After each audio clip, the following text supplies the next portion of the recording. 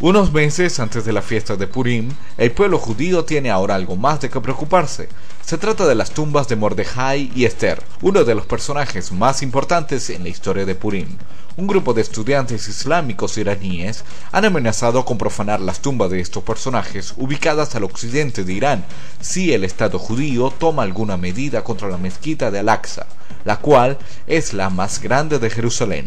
Puede albergar a 5.000 personas dentro y alrededor de la misma.